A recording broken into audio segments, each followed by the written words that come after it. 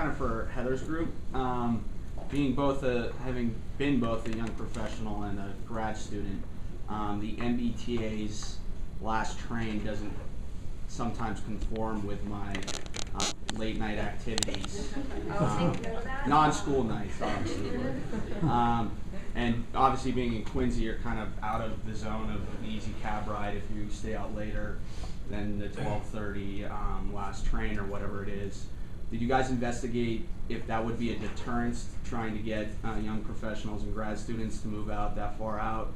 Um, or investigate kind of keeping the train running later or options to make sure that you're um, keeping the late night habits of young professionals in mind when trying to develop that? Um, we didn't actually consider that particular, I, I personally have always thought it to be a bit of a problem, but in this particular, um, circumstance, we really were focusing on the downtown as Mhm. being the place where people would spend time. Not that they're not gonna go to Boston, that's silly, but we thought that, um, with the amenities that are offered downtown, that there wasn't as great a means to, you know, address that particular issue. Yeah, the city is envisioning a much more, a much different downtown Quincy than is there right now, and they sort of envisioning their own set of bars and restaurants and places that they would wanna keep you there, so, which is, you know, it's a little bit different. They got a long way to go. They do. The, um, are you familiar with, with Bethesda, which is right outside of Washington Yeah, DC? yeah. It's sort of a satellite suburb, but it's Mhm. kind of denser and, and about a twenty minute train ride into the heart of the city. That's what Streetworks has redeveloped in the past, and, um, and I think that's sort of their, that's part of their kind of vision for Quincy, is that it's its own place where young professionals would feel comfortable going out and getting a drink and having dinner, as opposed to necessarily commuting to downtown Boston, except for work. I have, a question about uh, your community outreach strategy. Uh, and in particular, I know parking can be a hot button issue. And I know you mentioned that Quincy College um, didn't require any additional parking, uh, and you didn't see much opposition uh, in, was it a, a DOT meeting? It's messed up. MassDOT meeting. But I'm wondering what the larger set of local residents businesses, how, how they feel about a reduction in, in parking capacity, because I feel like it can be skewed when you get to that side of the yard. Yeah, I agree. We didn't get the whole picture. We just presented the information we were able to get. There was, we weren't, uh, tasked with surveying a lot. We're not parking. Yeah. Well, well, in in addition that, the, the Streetworks project is gonna put about five thousand parking spaces within their project, in in their own garages. But we were focusing more on the commuters for the station, because our research showed that if there's a parking structure that's more than a quarter mile away from a station, people aren't gonna use it for commuting purposes. And the Streetworks garages aren't necessarily gonna be priced for commuters, which is something the MBTA was very adamant about, that if pricing's not right for commuters, they're not gonna park there. They've seen it in the past where they've upped their prices by a dollar or two, and parking has dropped drastically. So, the parking at the site, the station itself, we felt that it was needed, because the, the surrounding parking really isn't gonna accommodate what a commuter is gonna be looking for. So, I think what came out more from some of the, the meetings that we went to was that folks were interested in not just having it be car centric. I mean, they really want the whole downtown to be pedestrian friendly and bike oriented, and this site isn't part of the Streetworks redevelopment, so I think they wanna make sure that the, like, the infrastructure and the green space outside of it at least is accommodating. Actually, I do have a question because I actually don't remember the answer. Why wasn't the Quincy Center T-Stop No one knows. We asked them, they- they they- didn't they- give This one. kid has very good Yeah. presentation, so it's why- that question. Any opinions? Yeah. I think it was probably too much of a headache for the developers to sit down with another partner at the table. Yeah. And the MBTA, the, the situation they're in, in the state, they just didn't wanna muddle everything up. That's, like- that's what I It read was a- between the lines yeah. of what was spoken. It was like a also- phase thing, like the, the partner, sorry, but the partnership between the Streetworks and the city is being for like five, eight years. So they didn't wanna bring another client to the table, so things will prolong even more. So obviously the MBTA is gonna have like very restrictive, uh, uh, demands that they didn't wanna deal with, but since Streetworks is more uh, accommodated to work with public entities like the city of Quincy, that they, they think, they thought that the thing, um, it could, uh, develop faster, the whole project.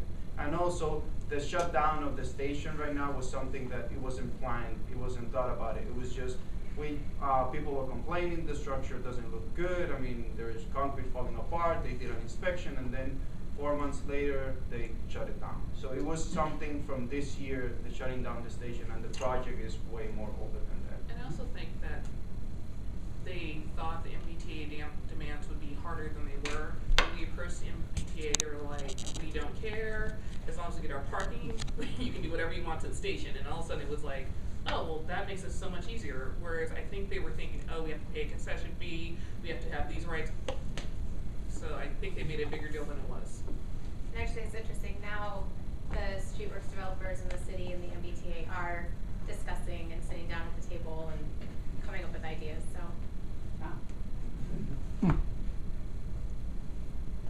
Um, Heather, maybe I missed this, but did your group come to a recommendation on one of the alternatives you were looking at in terms of the original size, to double the size of the space or maximizing the air rights? We didn't actually want to pick one particular, um, item.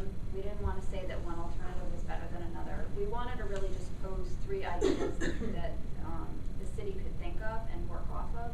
Um, even when we, we presented on Tuesday, um, the idea of, of, the city had said they had sat down and worked on a lot of these ideas. The idea of daycare had never come up.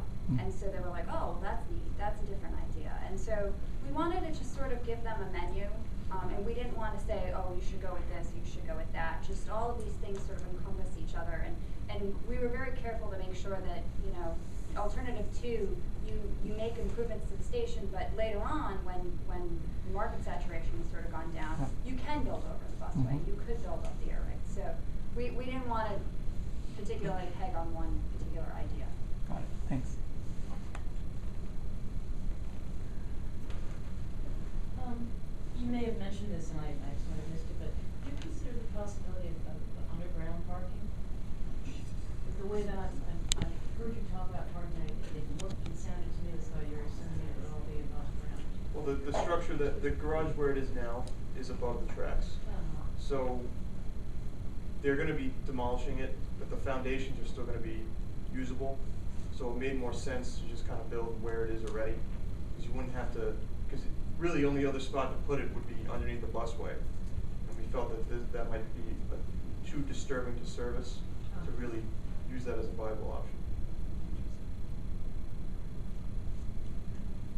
So, this is a great job, I think you've done a great job of laying out kind of the, the, the suburban issues as places urbanize increasingly. And since, uh, since Professor Bluestone is not here, I'm gonna ask a housing question. Uh, And, and that is the kind of the, the, the difference between what will be built affordable versus market rate. And then, I'm increasingly interested in kind of this micro apartment phenomenon and whether or not you evaluated the prospects for that or, or what do you think the prospects are for it? Because this is an idea that's kind of really been floated around Cambridge as well. So I'm, I'm wondering if you got any feedback about that. Well, the, the, the, the housing in Quincy, um, it's, it's relatively affordable there, but when we looked at the, the rents in the vacant apartments, it was significantly higher than the rents in the occupied apartments. We saw that there was a plethora of availability at the higher end of the market. With Streetworks coming in and building even more higher end housing, there are certainly places where people can live affordably in Quincy, but for the people that really wanna live downtown, we wanted to create a more affordable option than what Streetworks may be proposing. In terms of the micro apartments overall, it's still, as we know, relatively new, it's happening, it's developing now in San Francisco and New York, potentially in Boston in the Innovation District. But the million dollar question is, especially in Boston recently, is whether or not they'll be priced affordably, because the rents, you know, in general, rent, the, the uh, proportion is twenty-five percent of your gross income. So somebody would have to earn seventy-five thousand dollars a year in order to afford one of the micro apartments in the innovation district, is they're estimating the rent at about fifteen hundred. So that's sort of the million dollar question, and that's where we think that Quincy has an advantage over Boston, is that we can make those less expensive than they would be elsewhere.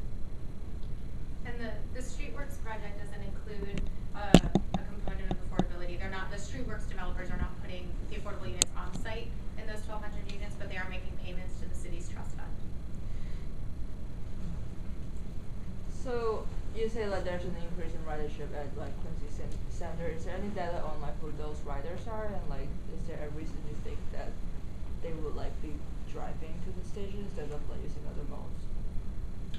The, the, the data that we were able to get for the actual parking numbers, um, the MBTA only had data up to two thousand eight for, for the garages and capacity, and the ridership data didn't go past July of two thousand twelve, which is when, which is the month that the garage was closed.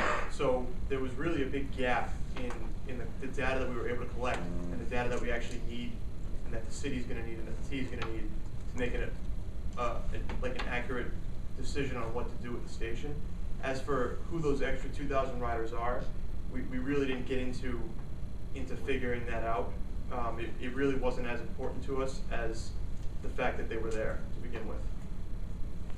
And, sorry, just, just to comment, um, also for, for the ridership that we looked, we also tried to look at, um, the ridership was specific for the rapid transit system, for the MBTA station. Um, but also we tried to get some data out of buses, because we have fifteen bus routes. But the bus, uh, data was very scarce and we couldn't correlate, I mean, we couldn't make, make any suggestions. But, uh, but the feedback that, that we got from the MBTA is that bus ridership is increasing due time. Cause, um, the way that they count ridership for buses is very different from the way that they count, uh, ridership for the rapid, rapid, rapid transit system. So there's like an estimate that we didn't have much into account, so we didn't even present it. But the idea is that ridership is increasing, and the fact that downtown had some capacity, uh, for parking, and the other stations has other capacity, the users for the parking spaces just fill those spaces up. So our idea is that once the, the, um, once the station is there, um, that we will attract them back, or we will try to attract them back to the station, so. Um, related to this, you showed the trend in ridership increasing, um, but I only recall seeing one number for um, uh, user uh, the user rate at the station at seventy percent. Do you know what the long-term trend of, the, of parking has been at the station in relation to the ridership? Um, are those are those increasing at the same rate? Are they is, is one staying the same while the other's increasing? Is it going down? And do you have any, or does the T have any um, kind of projections of that in the future? And did and did the increase in downtown housing? Do you do you think the increase in downtown housing has any effect on um, parking rates? People who normally would drive to Quincy Center, who live in other parts of Quincy, may move to downtown Quincy and not need to park there anymore. Right, but we, we also think that with all the additional office and retail space in the area, that you're gonna have more people coming to the area who, who wouldn't normally be there anyway, or who are gonna now work there, or are gonna wanna come there to play. So that kinda, those numbers, I mean, I could sit here and, and say that, and you could sit there and, and say the other way, and I, e- neither of us would be wrong, so, um, but in regards to how ridership and how the, the garages, the capacity of the garage, um, we really, the, the data for the garage was very scarce, and there really wasn't enough of it for us to kinda put them next to each other and kinda get a, a feel for how they correlated, or, so we, we, we really, we couldn't do that based on what the MBTA had available for us. Can I follow up that actually? What are, what is Streetworks pricing its parking at? Right. Well, see, we don't know that. Very secretive. Yeah. What's Very- your- They are keeping it. Well, that's an interesting question, because if you build a new garage at Quincy Center that's priced below the Streetworks, there's gonna be a bunch of those folks who will park at the Well, garage. he- we got, we got that question during the pre- presenting to the clients, and the idea that we went through the size of the parking spaces was regarding to commuters, and that would take all the space of uh, peak hours. So in some sense, if people are just going to the downtown, are not gonna affect them, because they were saying like, why are you putting more spaces? You're just gonna compete with the parking spaces that we're providing. But since we're, we're trying to answer the demands of our, the MBTA that is our client, and being a transit authority, it must demand parking commuters, so that is something that they have to kind of deal with. I don't know if that's. And then in Streetworks didn't like when we were talking about more parking, they, obviously, because they want their garages to be utilized, so it's, they're gonna be butt heads on that. And, and also regarding to the capacity of the garden, I mean, we looked at some data that due to time, they were decreasing the utilization of the Quincy Center. But, um, we got some reason for that was, um, they increased the, the fare for the, for the, so they saw like a thirty per, between fifteen and thirty percent utilization of the, of the garages. And also the deterioration of the parking structure mm-hmm. gave the feeling of the, pe- to the people that the structure was so badly, I was insecure because in some spots they got like concrete falling on their cars or they wanted to, they didn't know if the structure's gonna just bury their car. So people stopped using it and we, we go with that train of thought that why it wasn't increasing. for closing the garage. yeah. Yeah, we couldn't find any complaints either about when the garage shut down. Like, we looked into, try, like, City Hall was like, we got no complaints. Uh, the trans, MBTA was like, we have maybe five. So like, we, we, and we talked to the Patriot Ledger and, and a whole bunch of other sources and really, really couldn't find any citizens complaining that they shut the garage down. Really? So it was, it was very, it was really necessary because people were, were like relieved. They were like, oh, thanks for closing that, cause, you know, we didn't wanna get hit with falling concrete. So like, that's how bad it was. So we really couldn't find many people who were upset about it. Pulling up a few complaints that I could look at at the T, there was actually compliments on, thank you for closing that garage. That, that was actually the actual feedback we received. But nobody complained about the missing capacity? Well, yes, some, but not enough, because since it was seventy percent, you were like around six hundred people using it every day. Uh-huh. So since we saw that in two thousand five, there was capacity for people to park in downtown, and it was capacity to park in the other stations. Uh-huh. So there were no complaint to get it, because we also tried to ask the police department in, in Quincy to see if they had like, uh, the citizen, the residents, that the people were parking on the streets, or they were putting more parking tickets, but we didn't find any trend. So what we think is that they find a way that they didn't bother anybody, and we attach that into the, ca- the actual capacity that the, this current downtown has for parking And yet, the, during the the, the partnerships group, I think you mentioned the, uh, that the, um, the T, the T wanted the minimum five hundred spaces at this garage, so how do they justify that, especially in light of the, the shutdown? We think it's arbitrary. Yeah. Arbi- arbi- really? Just like a number. Or in all honesty, it could have been anticipated, you know, like a different type of development going on at the site, um, that would have required parking. It was their, their biggest concern was they didn't wanna hear it from commuters. So they figured five hundred spaces would give them enough coverage. It's just a number to work with. It's not, there's no detail. There's no formula for, No. there's no formula for kind of what parking. the operations guy was like, yeah, five hundred sounds good. It's less than, well, Who currently gets the revenue from the par, or who was getting the revenue from the parking and The garage? MBTA. MBTA. So this was not part of the revenue that they've sold off? No. No. If the city decided to build a garage, they would get the revenue. And that was, that, what's interesting is that what we heard from, um, Mark Boyle at the, when we presented was he was very concerned about the pricing of whatever garage gets built there. And my understanding is that there's gonna be a parking management authority that's created essentially for the new streetworks and city-owned garages. And so if this is also a city-owned garage, presumably it'd be part of that parking management authority. So I don't know how much control the MBTA is really gonna have over the pricing of that garage, if they've given up their control in terms of they don't wanna rebuild it. And the MBTA doesn't believe that they'll make enough revenue to justify building a garage. Mm-hmm. Who gets the revenue from the other, the garage farther down the line? Is it the teaser or they sold out?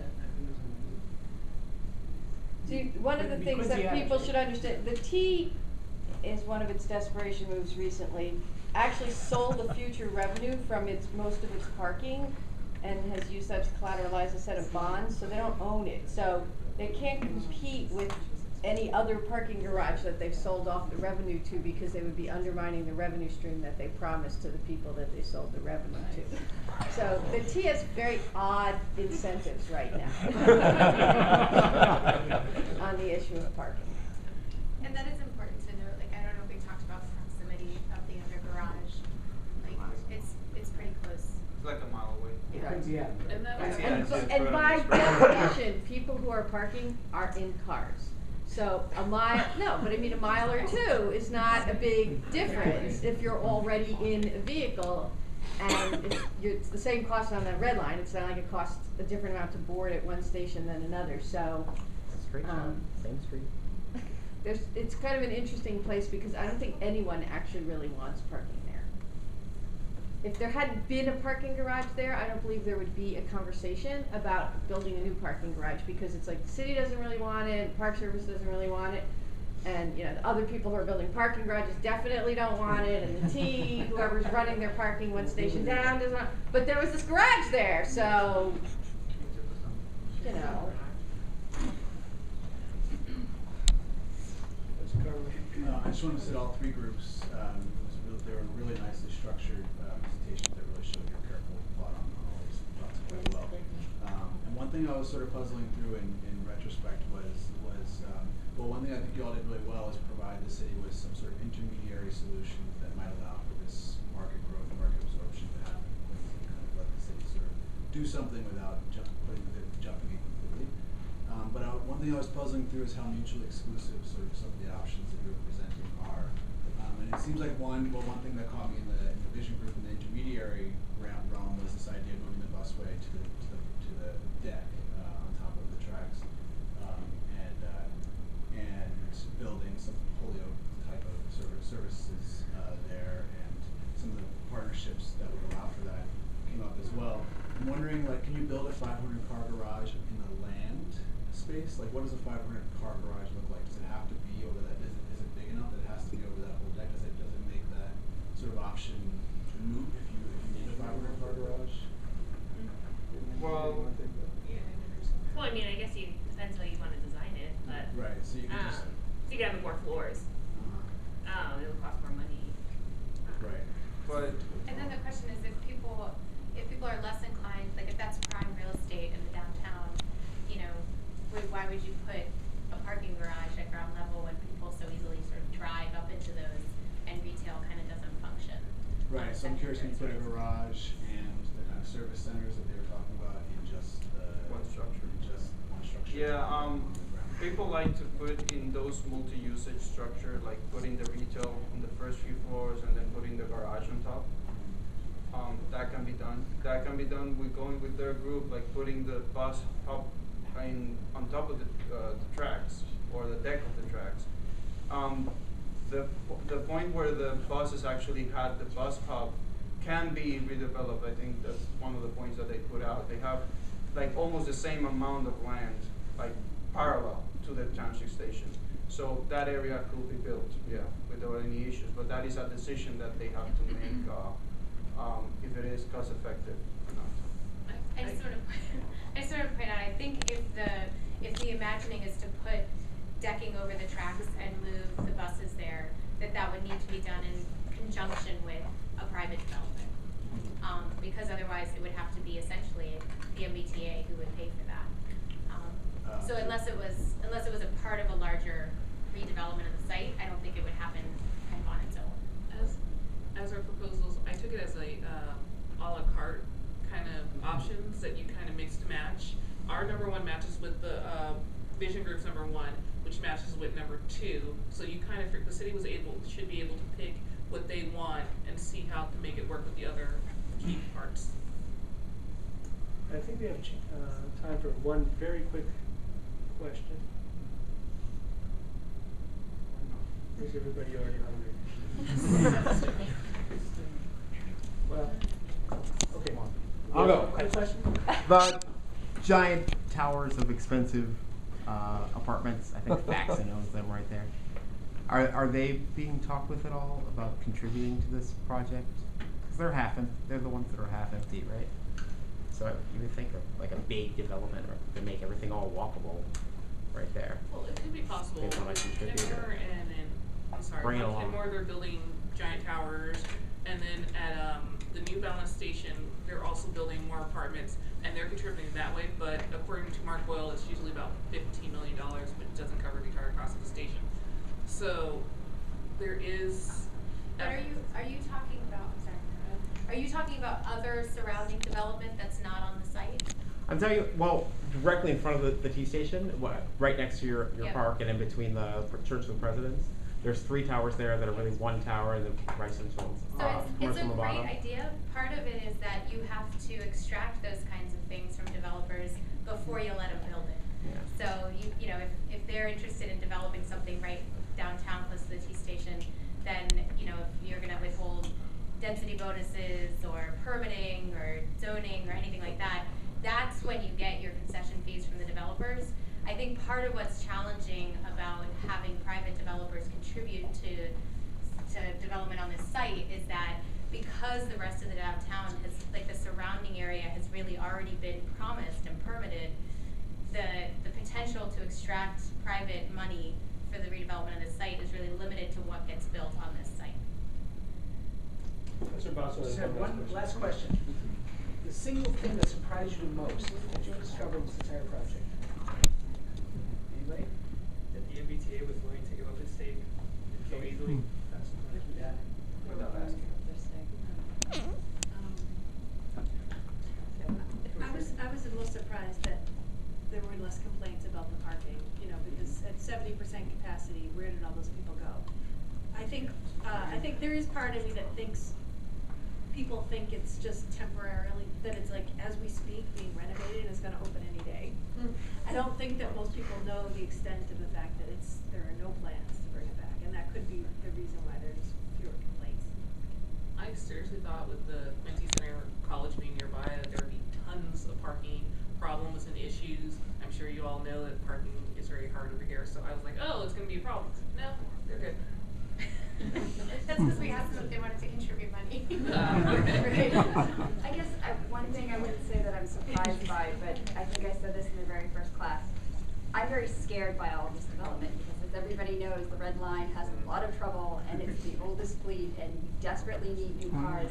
And if you're putting one point six billion dollars in develop, development down in downtown Quincy, we just don't have enough trains. Like I just that that I that's always been in the back of my head, and even Mark Boyle had brought that up on Tuesday when we presented. So But I also like the fact the Streetworks said that they would not be doing this without the station. Yeah. Mm-hmm. That was, I I have to admit, that Right. was a bigger, that they were talking about how sub- suburban, sur- suburbs are struggling to stay relevant as more people our age are moving towards cities and wanting shorter commutes.